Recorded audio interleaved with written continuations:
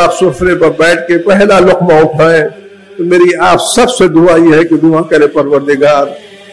मुझे माफ़ कर या ना कर, मेरे गुनाह बख्श या ना बख्श, उस पर रहम की नज़र कर या ना कर, लेकिन मेरे इमाम का जहूर ज़रूर मुहैया।